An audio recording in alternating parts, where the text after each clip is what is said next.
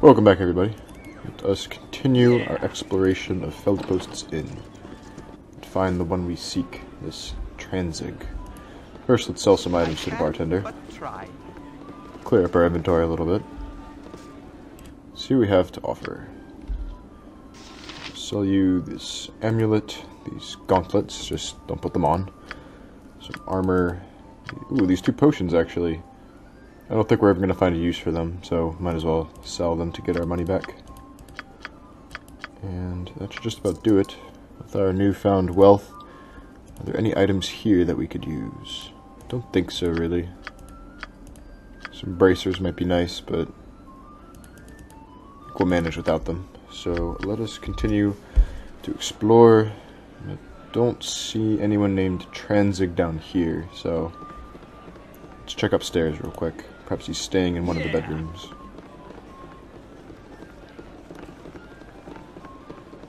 We shall keep our eyes open for him. Around you, I almost feel that we have a chance. If our party can navigate through this bustling tavern. It's quite crowded. There we go. Alright, let's see who we have here. Tranzig. Alright. Well, doesn't seem like he's making much of an effort to conceal himself here. We also have Algernon. Shall speak to Algernon real quick. Although I don't have any flowers to bring with me. Doesn't want visitors. Alright, respect his wishes. Let's go check out this room here. With Helm's blessing. Everyone stay behind. I've done had enough of this.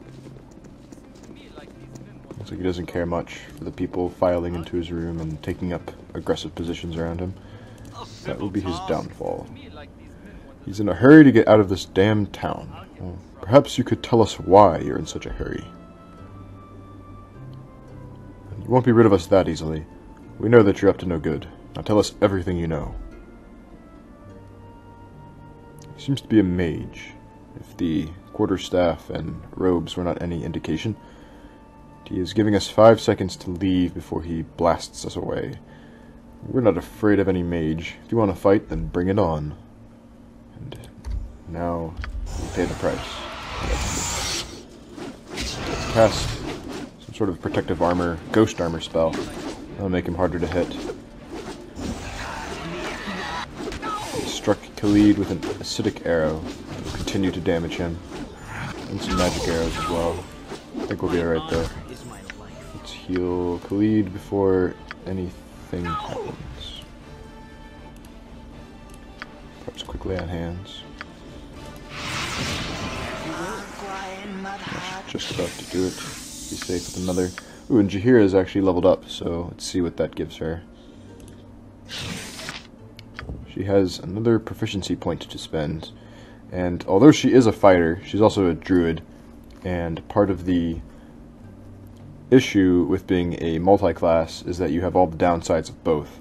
So even though a fighter should be able to reach Grand Mastery level, her druidic nature limits her, so I'll not be able to put any more points into these. Let's go with the spear, I suppose. And it seems like she's able to cast level 2 spells now. Let's see what we have. Charm Person or Mammal. That could be quite potent, so we'll have a point in there. And Resist Fire or Cold. Uh, knowing alignment. Let's go with the slowing poison. It neutralizes all but the most deadly of poisons. We'll take that as an insurance against venomous attacks. Let's see what we have here. Unidentified ring, wand, a letter, and some gold. We'll take all of it. Let's read that letter. Tranzig from Tazok. Seems he is perplexed as to why Mulahey has not communicated in some while. I might know the answer to that and he implores Tranzig to figure out the uh, condition of Mulahey's operation in the mines. He says that their next raid will most likely take place at the Peldvale or Larswood, so he's to visit those areas and then track him back to camp. Let's look at our map real quick. And here we have the bandit camp, far to the northeast, as Elminster suggested, but we need to find the Peldvale or Larswood, which will lead us there. So, let us make way for the north then. Yeah. Seems like Algernon here is unfazed by the commotion in just the next room over. With Helm's continue on.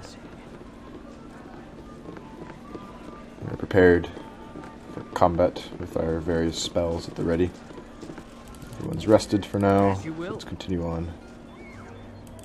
It'll actually be faster to leave to the west, or south, I would think, and then journey north. So we shall make our way. As a new day dawns.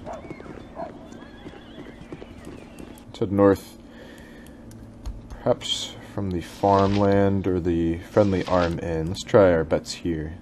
Night has fallen. Let's head east. See if we can find what we're looking for.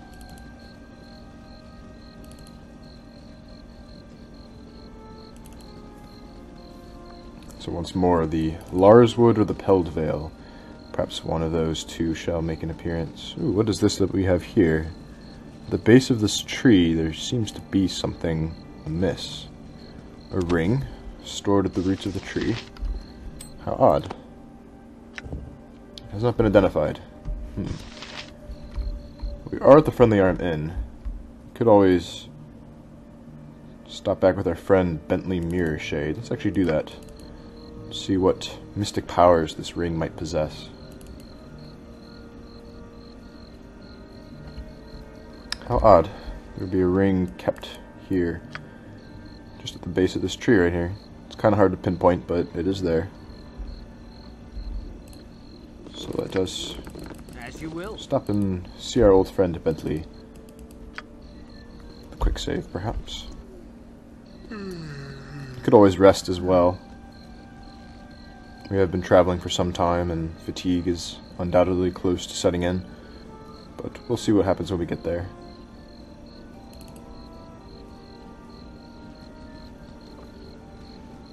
Might even stop and see our old friend, Your honesty is Unshey, how this her- is well with the Our belts are faring, after we liberated them from the menacing ogre to the south. You must gather your party before venturing forth. You must gather your party. Stop and see what we have here. I need some else. Helm. Yeah. There's our good friend Bentley. Could also swap some tales with him. It's been quite a while since we last stopped by here. I'd be interested to hear what we have to say. Oh, but he unfortunately can't identify. That's fine though. Let's see what we have here. Sell off our shield and ring, or sword and shield rather. Potions. Would really like to get these identified if at all possible.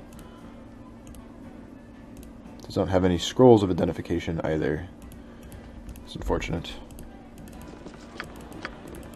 Not a problem though. Shall continue on our way. We shall make our way to the east. You must gather your party before venturing See what lies forth. beyond the woods. With Something that- I might like to do while we're traveling is to go over the pages of these books we have here. They really are quite fun to read. Some of them are rather long, but they do offer a wealth of information.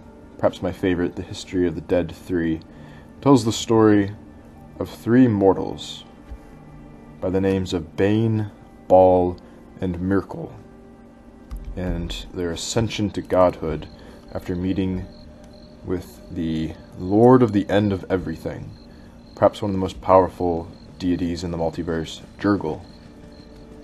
So that could be a tale for another time, when we have hours and hours to spare, while traveling through the woodlands, perhaps. I'll keep that in mind. Yeah. But for now, we should formulate a plan for how exactly we're going to find this Tazok and his bandit operation. Just to summarize the events thus far, we explored the depths of the Nashkel mines. We found Mulahey, who is a half ogre, and he was manipulating the kobolds with him to not only terrorize the miners, prevent them from extracting ore from the earth, but poisoning the very rock that they found.